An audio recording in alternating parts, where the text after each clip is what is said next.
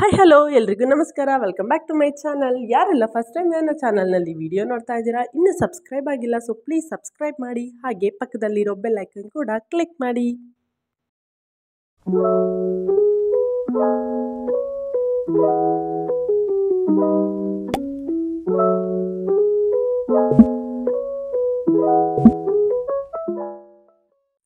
ಇವತ್ತಿನ ಈ ವಿಡಿಯೋದಲ್ಲಿ ನಾನು ಹಲಸಿನಕಾಯಿನ ಕಬಾಬ್ ಮಾಡ್ತಾ ಇದ್ದೀನಿ. ಅದನ್ನೇ ಹೇಗೆ ಮಾಡೋದು ಅಂತ ಹೇಳಿಬಿಟ್ಟು ತೋರಿಸ್ಕೊಡ್ತಾ ಇದ್ದೀನಿ. ನೋಡಿ, ಹಲಸಿನಕಾಯಿನ ನಾನು ಕಟ್ ಮಾಡಿ ಇಟ್ಕೊಂಡಿದ್ದೀನಿ. ಚಿಕ್ಕ ಚಿಕ್ಕದಾಗಿ ನೀರು ಹಾಕ್ಬಿಟ್ಟು ಅದನ್ನು ಬೇಯೋದಕ್ಕೆ ಇಟ್ಟಿದ್ದೀನಿ. ಓಪನ್ ಪಾತ್ರೆಲ್ಲೇ ಬೇಯಿಸ್ಕೊಂಡ್ರೆ ನಮಗೆ ಈಸಿಯಾಗಿ ಗೊತ್ತಾಗುತ್ತೆ ಅದು ಯಾವ ಹದದಲ್ಲಿ ಬೆಂದಿದೆ, ಎಷ್ಟು ಸಾಕು ಅಂತ ಹೇಳ್ಬಿಟ್ಟು. ಅದಕ್ಕೆ ನಾನು ಸ್ವಲ್ಪ ಅರಿಶಿನ ಪುಡಿ ಮತ್ತು ಸಾಲ್ಟು ಹಾಕ್ಬಿಟ್ಟು ಬೇಯೋದಕ್ಕೆ ಇಟ್ಟಿದ್ದೀನಿ. ರುಚಿ ಚೆನ್ನಾಗಿರುತ್ತೆ ಅಂತ ಹೇಳಿ.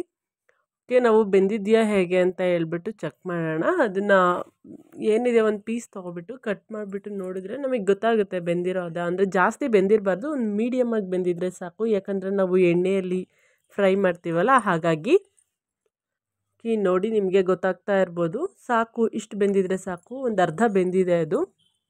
ಅದನ್ನು ನೀರು ಸೋಸ್ಕೊಳ್ಳೋಣ, ಬೇರೆ ಪಾತ್ರೆಗೆ ಹಾಕ್ಬಿಟ್ಟು.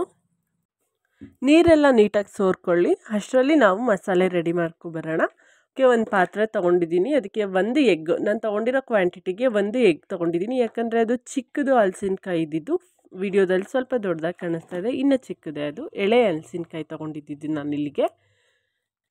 ಹಾಗೆ ನಾನು ಚಿಕನ್ ಕಬಾಬ್ ಪೌಡರ್ ತೊಗೊಂಡಿದ್ದೀನಿ. ಒಂದು ಟೆನ್ ರುಪೀಸ್ ಪ್ಯಾಕ್ ಬರುತ್ತಲ್ಲ, ಅದು ಒಂದು ಪ್ಯಾಕ್ ತೊಗೊಂಡಿದ್ದೀನಿ. ಚಿಕನ್ ಕಬಾಬ್ ಪೌಡರು ನೀವು ಜಾಸ್ತಿ ಪ್ರಮಾಣದಲ್ಲಿ ಕಬಾಬ್ ಮಾಡ್ತಾ ಇದ್ದೀರಾ ಅಂತ ಅಂದರೆ, ಅದಕ್ಕೆ ತಕ್ಕನಾಗಿರೋ ಅಳತೆಯಲ್ಲಿ ನೀವು ಮಸಾಲೆ ಐಟಮ್ ತೊಗೋಬೇಕಾಗುತ್ತೆ. ಅಂದರೆ ಸ್ವಲ್ಪ ಜಾಸ್ತಿ ಯೂಸ್ ತೊಗೋಬೇಕಾಗುತ್ತೆ. ಸೊ ಖಾರ ಪುಡಿ ನಾನಿಲ್ಲಿ ಮುಕ್ಕಾಲು ಟೀ ಸ್ಪೂನ್ ತೊಗೊಂಡಿದ್ದೀನಿ.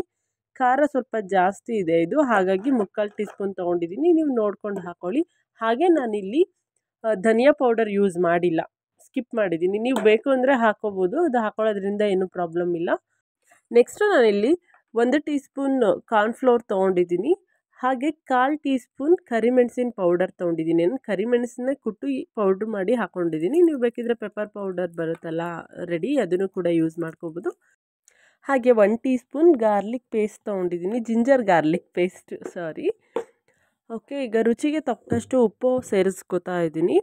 ನಾವು ಬೇಯಿಸ್ಬೇಕಾದ್ರೆ, ಹಲಸಿನಕಾಯಿ ಬೇಯಿಸ್ಬೇಕಾದ್ರೂ ಕೂಡ ನಾವು ಸಾಲ್ಟ್ ಹಾಕಿರ್ತೀವಿ. ಹಾಗಾಗಿ ನೀವು ನೋಡಿ ಹಾಕ್ಕೋಬೇಕು ಉಪ್ಪು ಸೇರಿಸ್ಕೊಳ್ಳುವಾಗ.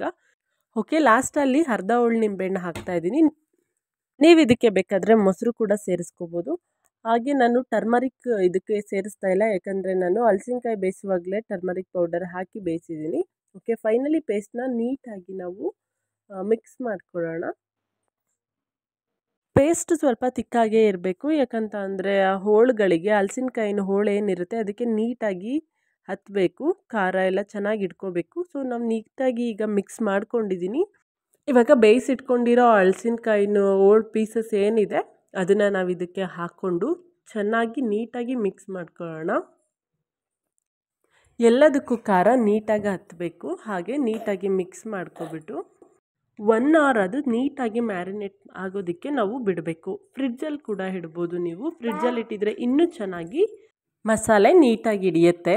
ಹಾಗಾಗಿ ಇಪ್ಪತ್ತು ನಿಮಿಷದಿಂದ ಒಂದು ಗಂಟೆಗಳ ಕಾಲದವರೆಗೂ ನೀವು ಮ್ಯಾರಿನೇಟ್ ಆಗೋದಕ್ಕೆ ಬಿಡಬಹುದು.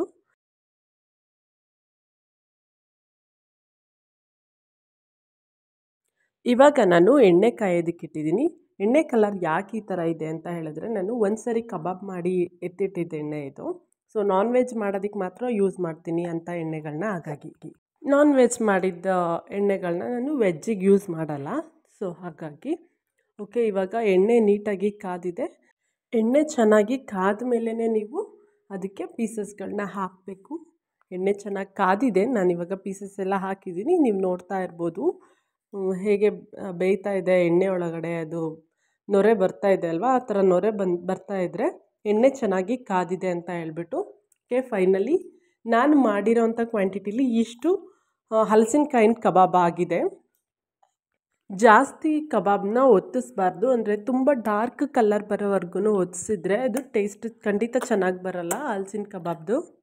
ನಿಮಗೆಲ್ಲ ಈ ವಿಡಿಯೋ ಇಷ್ಟ ಆಗಿದ್ದರೆ ಲೈಕ್ ಮಾಡೋದನ್ನು ಮಾತ್ರ ಮರಿಬೇಡಿ.